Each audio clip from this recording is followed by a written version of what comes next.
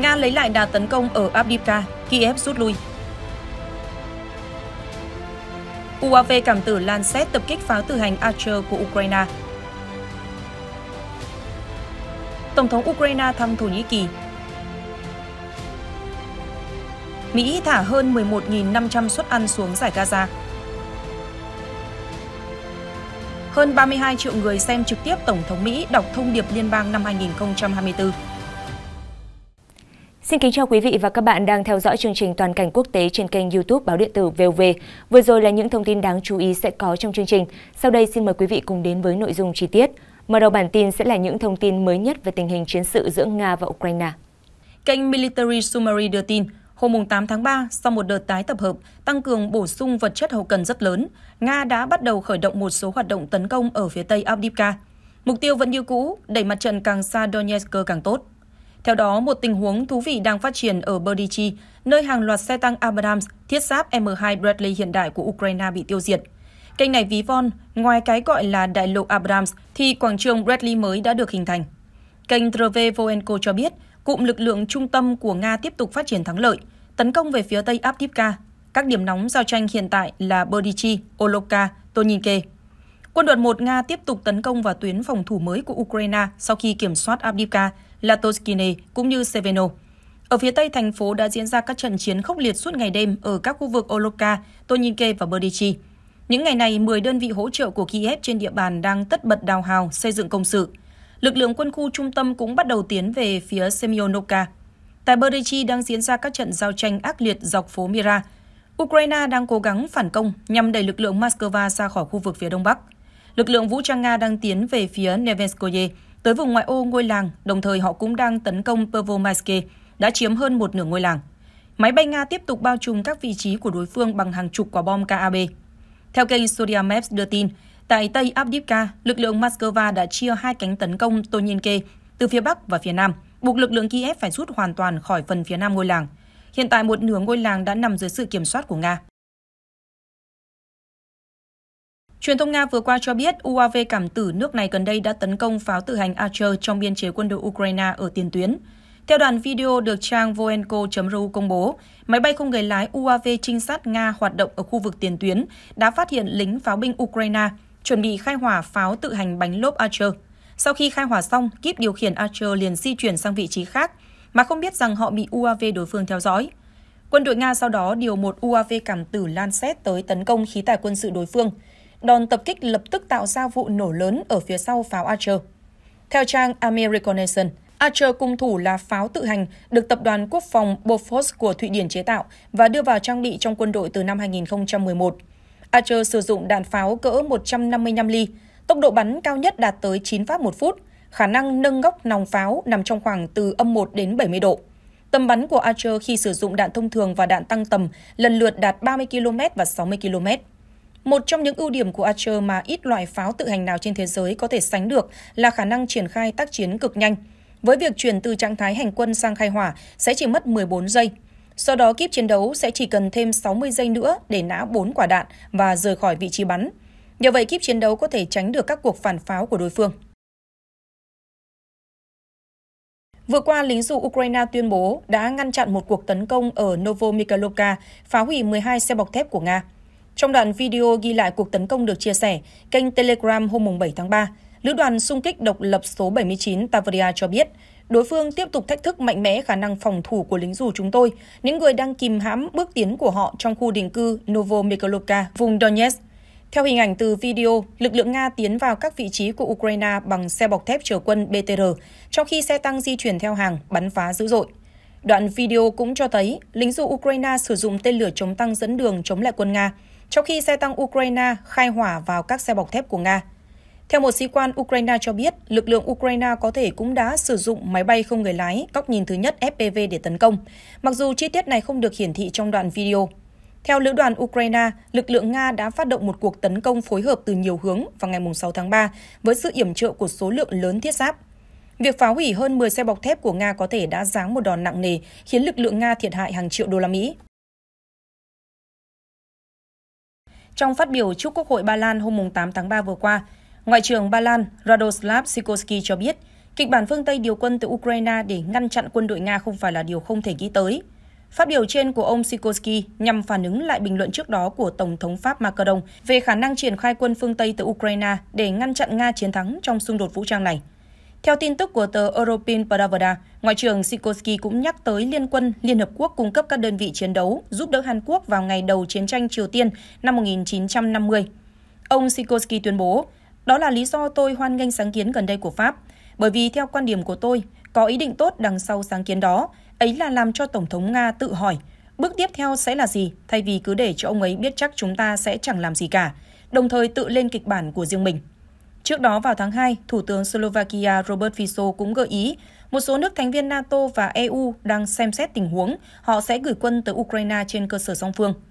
Đầu tuần này sau cuộc gặp với ông Macron, Tổng thống Séc Pet Pavel cho biết ông ủng hộ tìm kiếm giải pháp mới để hỗ trợ cho quân đội Ukraine, bao gồm việc tiếp tục trao đổi về khả năng đưa quân bộ vào Ukraine.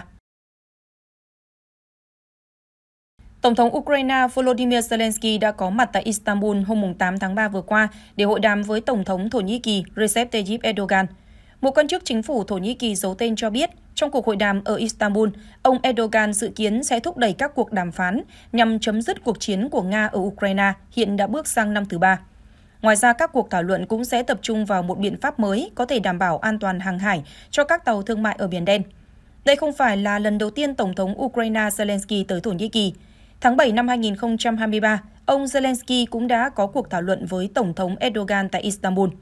Thổ Nhĩ Kỳ đã tìm cách cân bằng mối quan hệ chặt chẽ với cả Kiev và Moscow và liên tục đề nghị đóng vai trò là nhà môi giới hòa bình giữa hai nước. Trước đó, trong một phát biểu hôm cuối tháng 2, Tổng thống Thổ Nhĩ Kỳ Recep Tayyip Erdogan cho rằng các biện pháp ngoại giao và đối thoại nên thực hiện để tìm ra một giải pháp công bằng và lâu dài cho cuộc xung đột giữa Nga và Ukraine trong bối cảnh cuộc xung đột đã bước sang năm thứ ba. Chuyến thăm diễn ra trong bối cảnh ông Zelensky tiếp tục thúc giục các quốc gia khác cung cấp thêm đạn dược và vũ khí để ngăn chặn bước tiến của quân đội Nga đang cố gắng giành lợi thế sâu hơn ở khu vực phía tây vùng Donetsk do Ukraine nắm giữ và cũng tiến vào khu vực Kharkov ở phía bắc. Vừa qua, theo hãng thông tấn Strana của Ukraine cho biết, Tổng thống Volodymyr Zelensky đang cân nhắc cách chức Ngoại trưởng Dmytro Kuleba.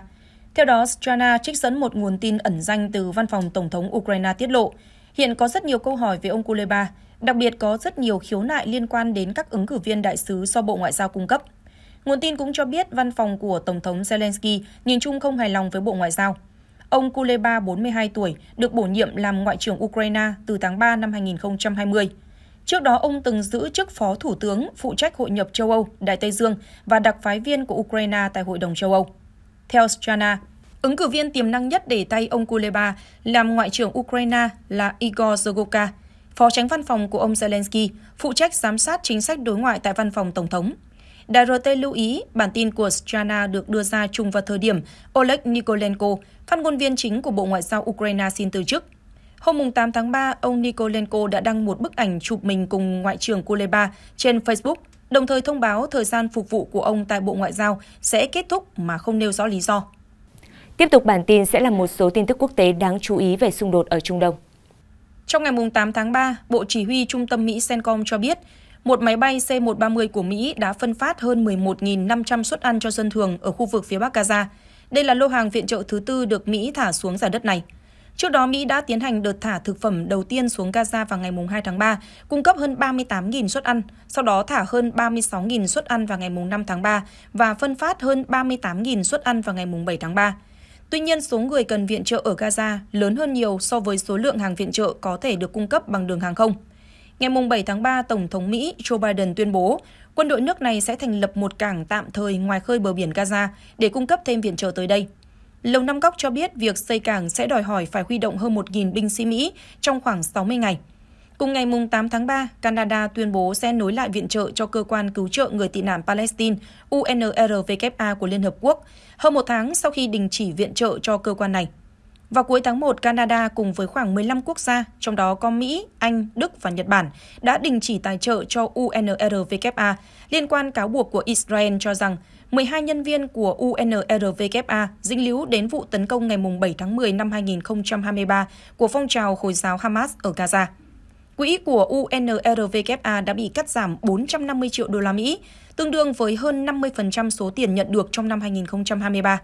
Sau khi giải Gaza bị phong tỏa, khiến nguồn cung cấp lương thực, thực phẩm cho hơn 2 triệu người dân của giải đất này cạn kiệt, nhiều quốc gia đang thúc đẩy các tuyến đường mới để vận chuyển viện trợ nhằm ngăn chặn nạn đói và khủng hoảng nhân đạo. Trong ngày 8 tháng 3, 5 người thiệt mạng và một số người bị thương sau khi một chiếc dù mang hàng viện trợ nhân đạo đã không bung mở. Do đó, một kiện hàng đã rơi thẳng từ trên máy bay xuống đám đông người Palestine đang chờ nhận đồ viện trợ ở phía bắc trại tị nạn Shati của Gaza City. Văn phòng truyền thông cơ quan quản lý Gaza xác nhận đã có thương vong sau sự cố này, đồng thời chỉ trích những đợt thả dù hàng viện trợ là tuyên truyền hào nhoáng thay vì là dịch vụ nhân đạo và kêu gọi cho phép vận chuyển thực phẩm qua đường bộ. Theo một phóng viên của Al Jazeera đưa tin từ Rafah cho biết, người dân địa phương đang trải qua thảm kịch ở phía bắc Gaza. Người phóng viên này khẳng định họ không chỉ phải đối mặt với tình trạng thiếu lương thực và vật tư y tế, mà còn bị quân đội Israel nhắm tới hoặc bị giết bởi một chiếc dù không hoạt động khi chờ đợi các gói thực phẩm. Được biết, những cái chết xảy ra khi nạn đói rình rập khu vực này.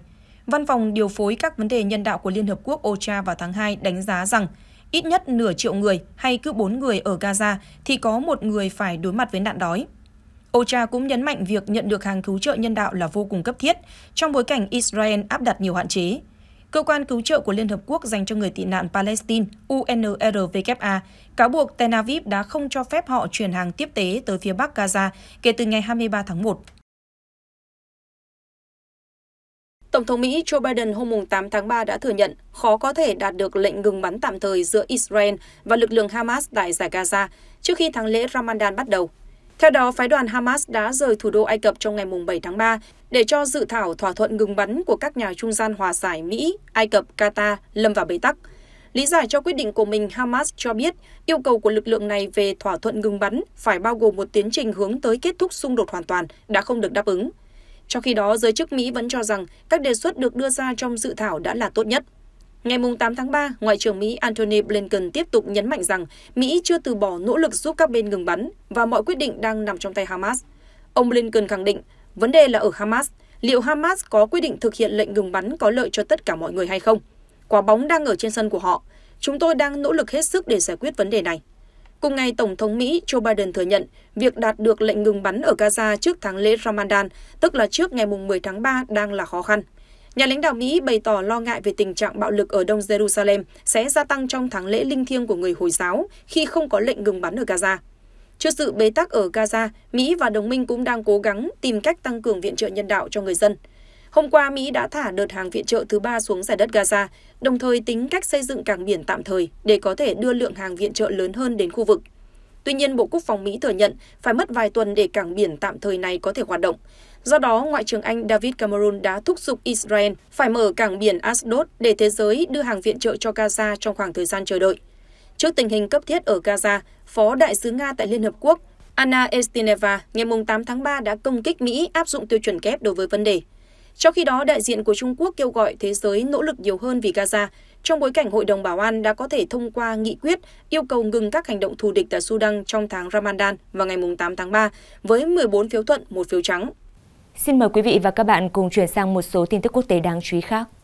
Theo dữ liệu của Nelson Market Research cho biết, đã có hơn 32 triệu người theo dõi trực tiếp Tổng thống Mỹ Joe Biden đọc thông điệp liên bang năm 2024. Lượng người theo dõi đã tăng khoảng 18% so với bài phát biểu năm ngoái. Có tới 74% số khán giả là những người trên 55 tuổi, trong khi 19% là những khán giả ở độ tuổi từ 35 đến 54 và khoảng 5% thuộc nhóm tuổi từ 18 đến 34. Trong đó, Fox News là kênh được lựa chọn xem nhiều nhất, với lượng khán giả là 5,6 triệu người. Tiếp theo là kênh tin tức truyền hình cáp MSNBC với 4,2 triệu người xem và CNN với 2,5 triệu người xem. Trên các nền tảng phát thanh vô tuyến, ABC dẫn đầu với 5 triệu người xem, tiếp theo là NBC với 4,3 triệu và CBS với 3,9 triệu.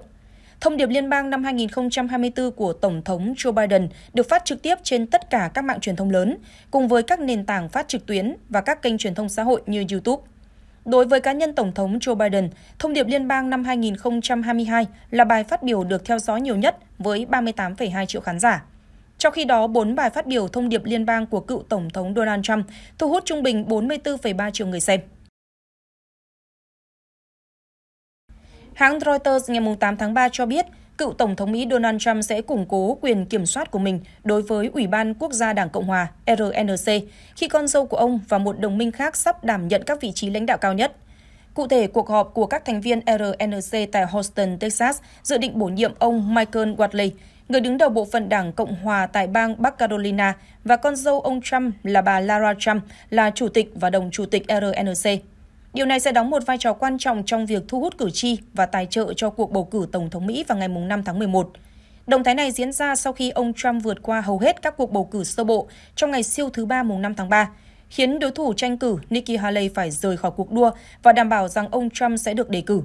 Việc cải tổ dự kiến sẽ chứng kiến ông Watley thay thế chủ tịch RNC Ronald McDaniel, có khả năng sẽ khiến sự chia rẽ thu hút sự chú ý nhiều hơn về việc liệu RNC có nên giúp thanh toán các hóa đơn pháp lý của Trump hay không. Được biết, chi phí pháp lý và tiền phạt của Trump đã tăng lên hàng trăm triệu đô la Mỹ. Việc bà Lara Trump, vợ của ông Eric Trump, đảm nhận vị trí thứ hai ở RNC tượng trưng cho việc cựu Tổng thống Trump tiếp quản ủy ban quan trọng này. Sáng ngày 9 tháng 3 theo giờ Việt Nam, một trực thăng của lực lượng vệ binh quốc gia Mỹ đã rơi gần La Corolla, thuộc bang Texas, cách thành phố vùng biên McAllen của nước này hơn 64 km về phía tây. Trực thăng gặp nạn mang số hiệu UH-72 Lakota và được cho là đang hoạt động dưới sự quản lý của chính quyền liên bang. Nhiều nguồn tin cho biết có 4 người trên máy bay vào thời điểm xảy ra tai nạn. Theo truyền thông địa phương, vụ việc khiến ít nhất hai người thiệt mạng. Trong khi đó, các quan chức quốc phòng Mỹ cho biết có người thương vong trong vụ tai nạn, nhưng con số chính xác về số người thiệt mạng và số người bị thương vẫn chưa được xác nhận.